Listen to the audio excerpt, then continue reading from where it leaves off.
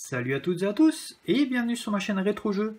Aujourd'hui je vous propose le unboxing et le test de la Switch édition Super Mario Odyssey. Ça y est, j'ai craqué, j'ai acheté la Nintendo Switch. Ça faisait longtemps que j'attendais un pack qui soit un peu différent de, ce qu'on trouve actuellement. Et donc j'ai attendu la sortie d'un pack euh, qui soit entre guillemets collector pour pouvoir acheter la console, et eh bien c'est chose faite avec cette Nintendo Switch Super Mario Odyssey. Alors, vous allez me dire que cette console n'a trop rien de différent. Effectivement, elle n'a pas grand chose de différent, mis à part les deux Joy-Con qui sont rouges. Et on a Super Mario Odyssey. On a un code de téléchargement. Ce n'est même pas le jeu en boîte. Ça, je suis tout de même fort déçu de ne pas avoir eu le jeu en boîte. J'ai acheté la console 349 euros. Je l'ai acheté sur le site de la Fnac. Il faisait une promotion 349 euros la console avec un bon de réduction à valeur sur un prochain achat de 20 euros plus un mois d'abonnement gratuit à la Fnac. Donc j'en ai profité pour acheter cette console sur ce, sur ce site. On va tout de suite commencer par ouvrir la boîte. On peut déjà voir ici. C'est parti. Donc on branche la Nintendo Switch en premier. En deuxième, on met les Joy-Con. On maintient le bouton pour détacher. On va ouvrir tout de suite ce pack, voir comment ça se passe à l'intérieur. Donc là, on a un carton tout à fait standard. Je m'attendais à un petit peu plus euh, professionnel de la part de Nintendo. Là, on a un carton tout à fait standard. Donc avec les deux Joy-Con rouges. je vais tout de suite les déballer.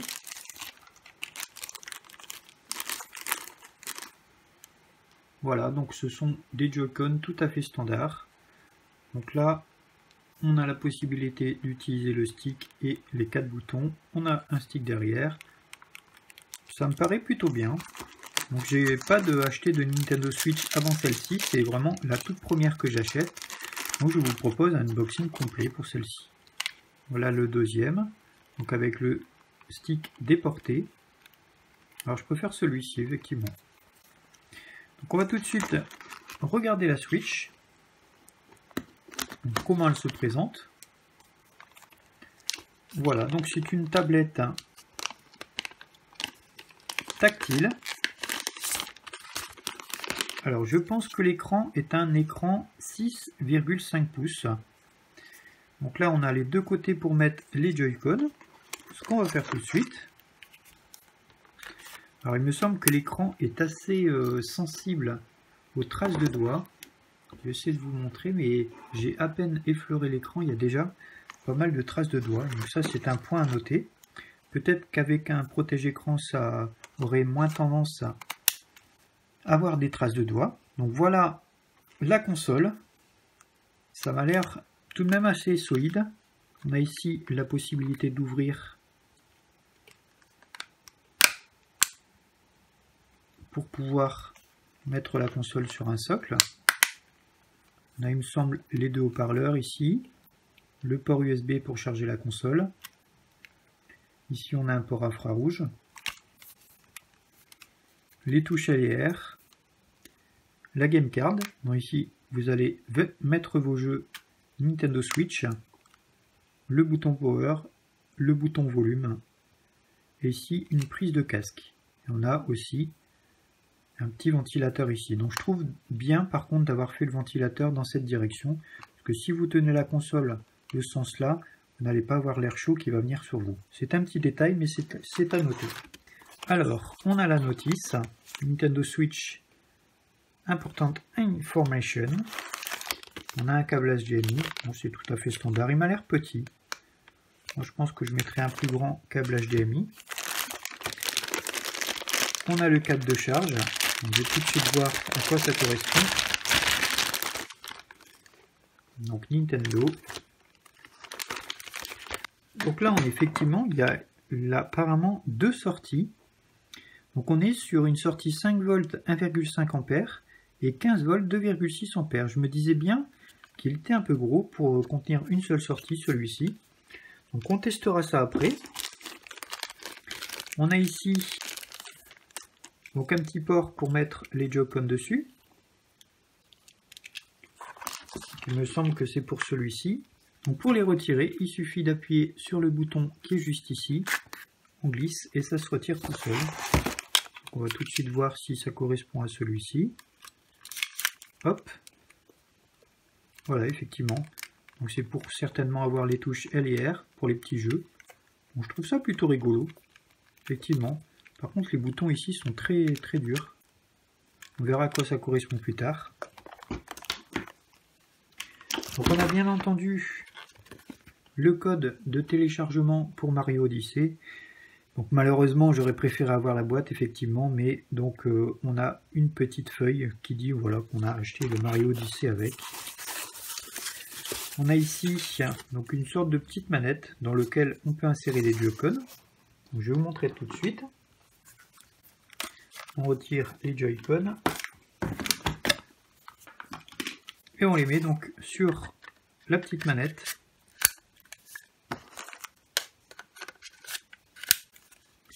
Donc ça vous donne la possibilité d'avoir une manette à part entière avec les petits voyants de charge.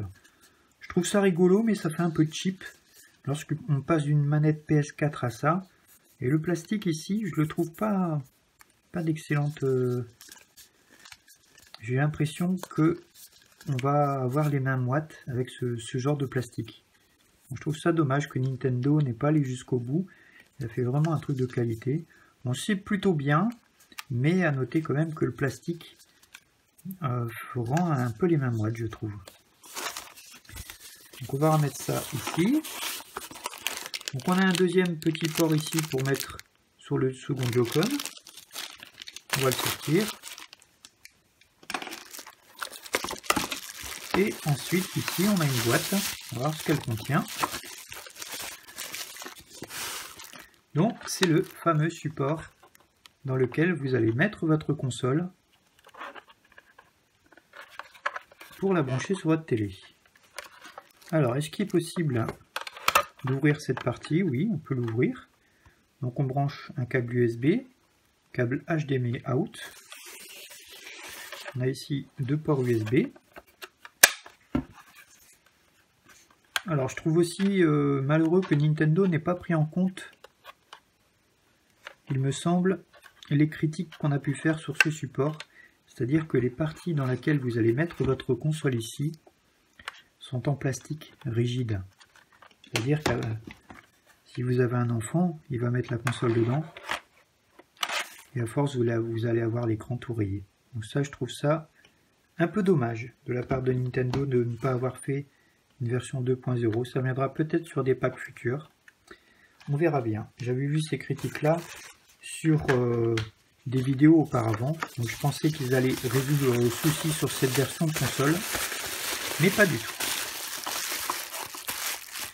On va refermer la boîte. savoir que la boîte, je la trouve sympa par contre. Elle est vraiment très très bien. Et on va donc tester la console. On va l'allumer. On va voir ce que ça donne. Donc on va utiliser la petite manette séparément, comme ça vous pourrez bien voir l'écran. Je vais faire un petit zoom. De toute façon, après on fera un test sur la télé directement.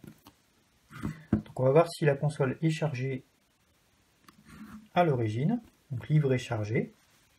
Alors on nous demande de mettre les deux Joy-Con sur la console. Alors pour les enlever, je trouve que c'est un peu, un peu difficile au début, il faut vraiment se prendre en main, appuyer sur le bouton. Donc on va les mettre tous les deux ici. Hop. Et on entend le petit switch.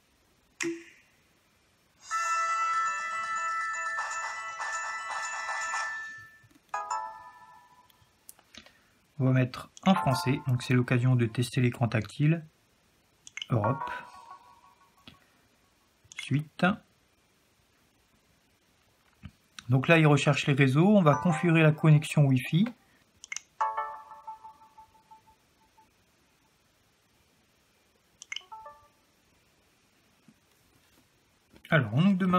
De détacher les Joy-Con. Ce qu'on va faire tout de suite.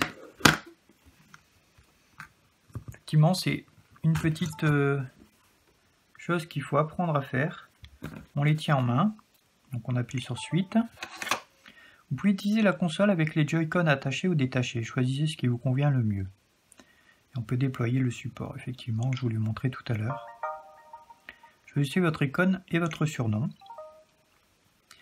Eh bien moi, en icône, il n'y a pas grand chose.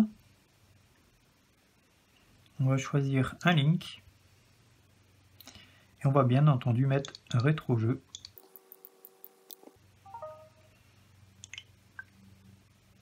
Associer un compte Nintendo, donc je vais le faire. Donc là, c'est rigolo. On vous demande associer un compte Nintendo.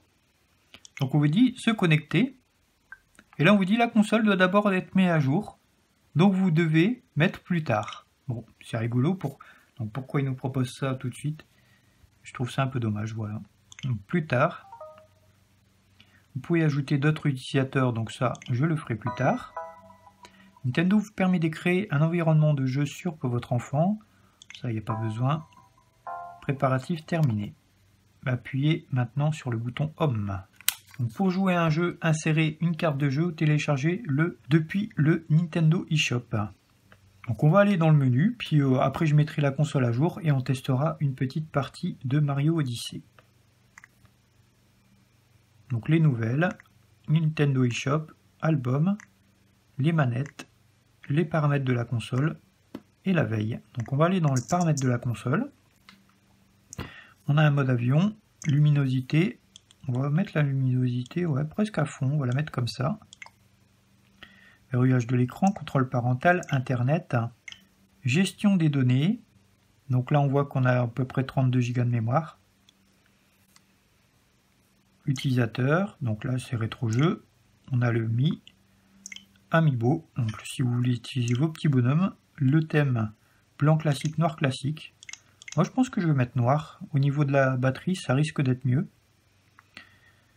Notification, veille, manette et capteur, vibration des manettes, connexion par câble des manettes pro, mise à jour des manettes. Mettez à jour les manettes connectées à la console calibrage des gyroscopes, etc. Sortie télé, résolution du téléviseur. On peut choisir auto ou 480p, donc ça c'est un peu bizarre. Ajuster la taille de l'écran, réduire les bordures, etc. D'ailleurs, en parlant de bordure d'écran, je trouve un peu dommage que Nintendo n'ait pas allé euh, au bout pour choisir un écran qui fait vraiment la taille de ce qu'on fait sur téléphone maintenant. Hein. Euh, vraiment un taille sans bord. Ça, c'est un petit détail aussi. Et la console, mettre à jour la console. Eh bien écoutez, on va mettre à jour la console tout de suite pour pouvoir jouer à Mario Odyssey. Donc la console est à jour. On va pouvoir accéder au Nintendo eShop. On appuie sur commencer. Alors, on va aller sur le Nintendo eShop.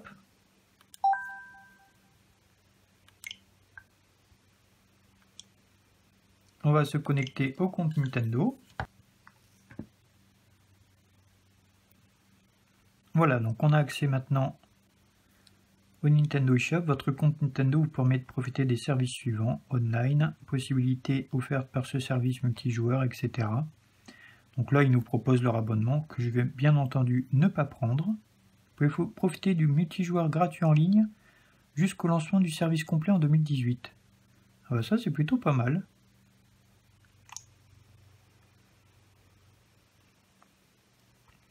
Donc nous voilà maintenant dans le Nintendo eShop.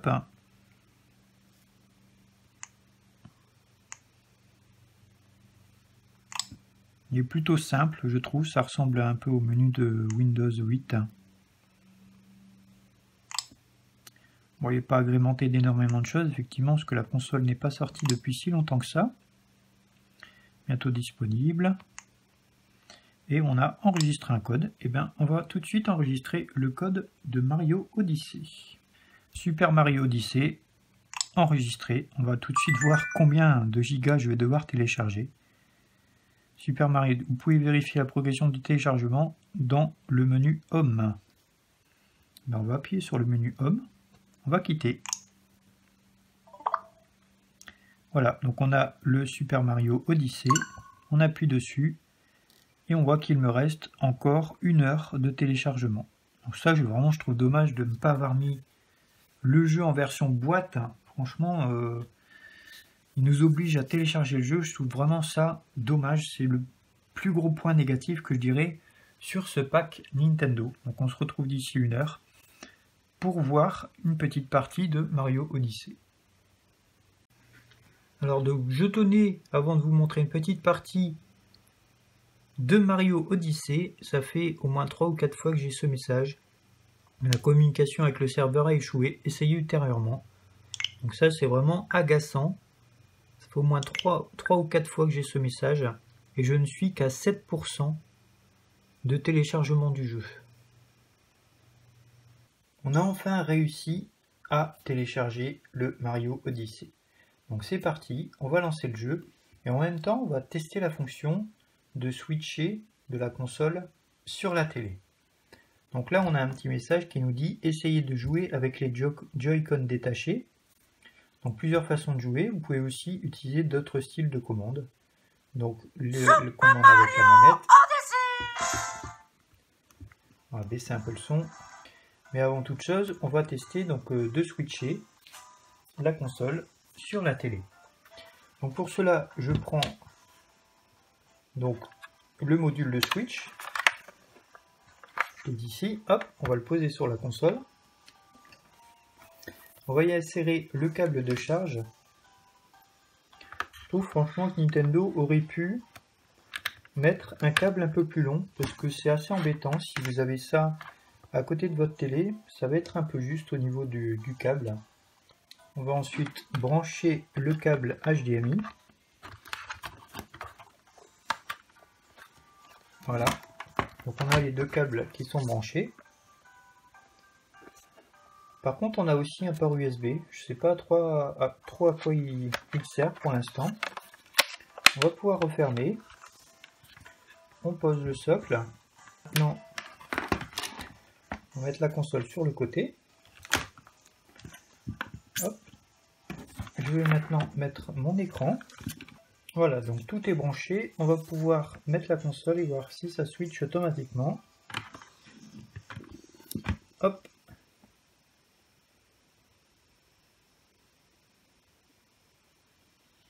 Donc ça prend tout de même euh, quelques secondes. Je vais vous montrer. On va ressortir. Donc là, ça vient pratiquement instantanément. quand je remets la console dedans, hop,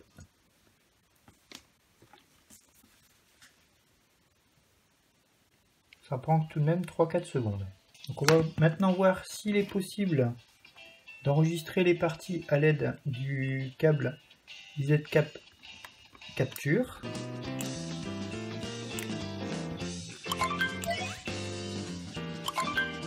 Alors fait un peu bizarre d'avoir les, les deux sticks comme ça dans la main. Je pense que c'est une habitude à prendre.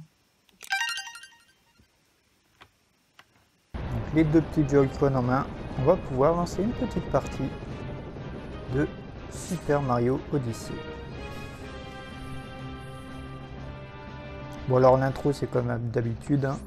la princesse se fait enlever par Bowser, ça, il n'y a rien de très original là-dedans.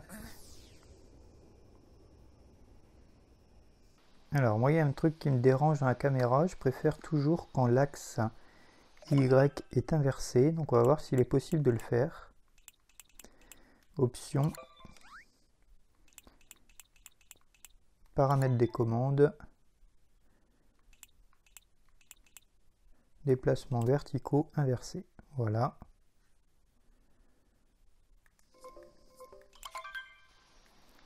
Voilà, je préfère.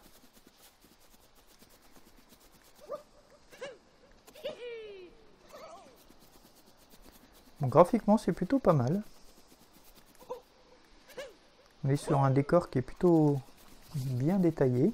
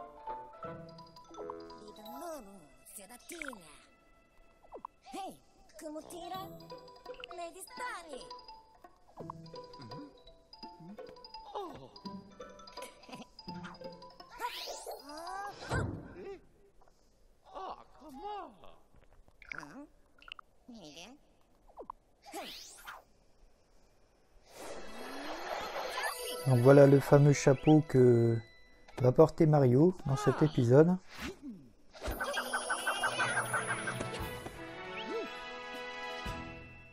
Capiez maintenant votre compagnon. Essayez de me lancer avec Y.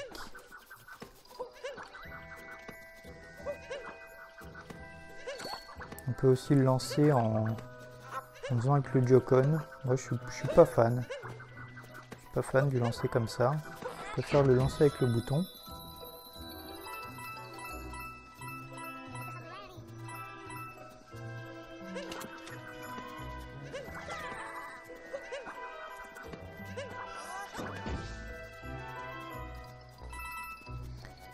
Ça a l'air de laisser pas mal de, possibilités de gameplay.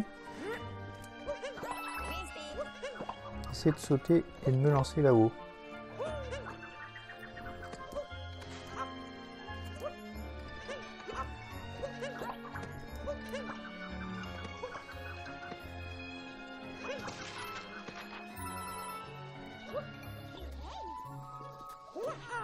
Alors on retrouve les commandes de Mario. hein. Le saut retourné comme ça. Le, le saut en longueur. On va voir si on a le triple saut. Voilà, donc ça c'est habituel au Mario.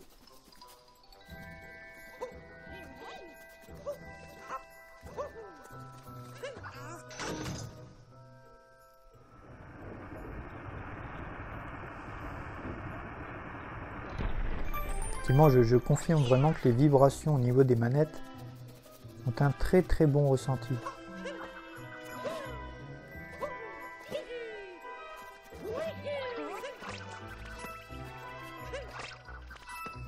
Alors ça fait bizarre effectivement euh, d'un Mario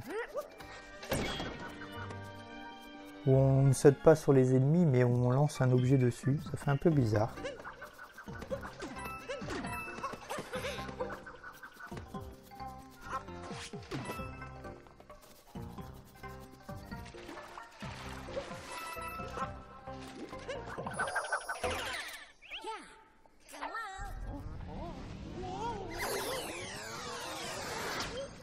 Été absorbé par une grenouille.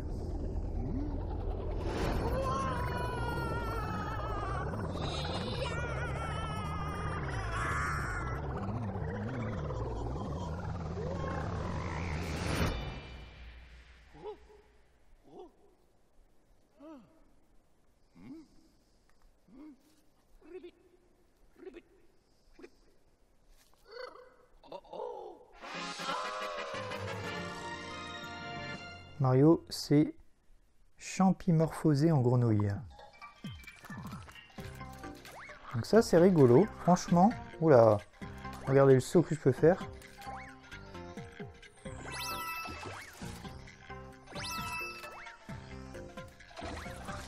Ça c'est pas mal non plus, ça peut donner euh, vraiment de bonnes choses à, à faire. Alors est-ce que je peux sauter sur les ennemis du coup? A pas de souci. Oh le saut énorme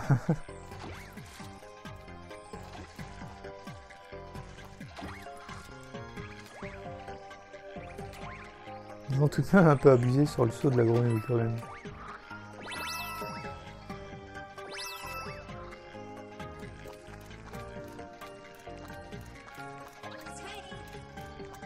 Si tu veux retrouver ta forme d'origine, appuie sur ZL.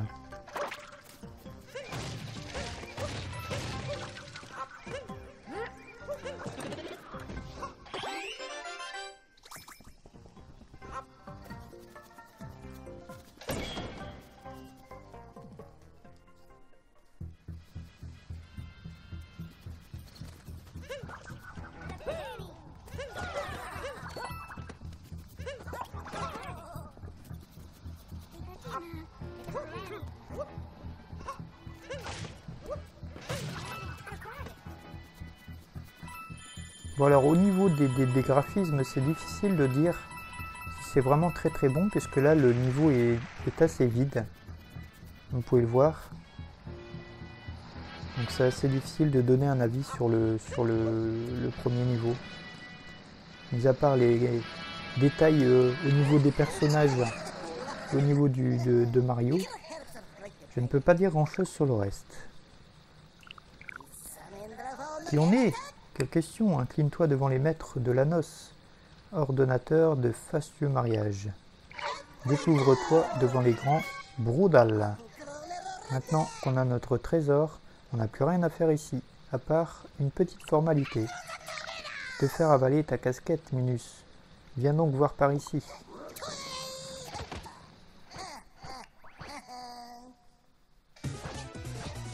Premier boss.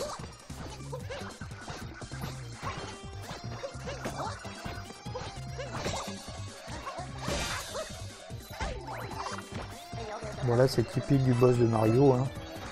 On tape trois fois dessus et il sera mort.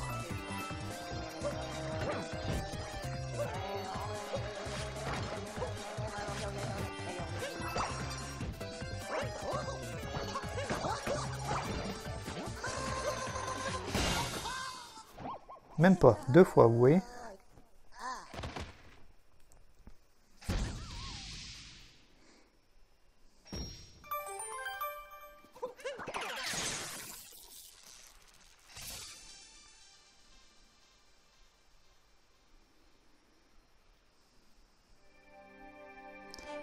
Super Mario Odyssey.